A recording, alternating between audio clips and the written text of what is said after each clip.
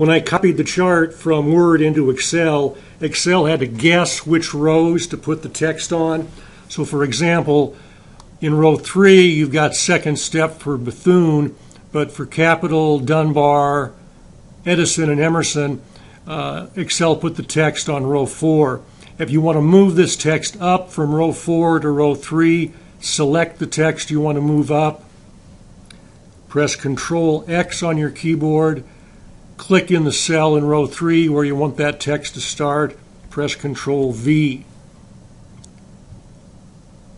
If you want to uh, change the size of the text, click on this little diagonal arrow in the upper left corner and you can choose a different font size. You can make it bold if you want to.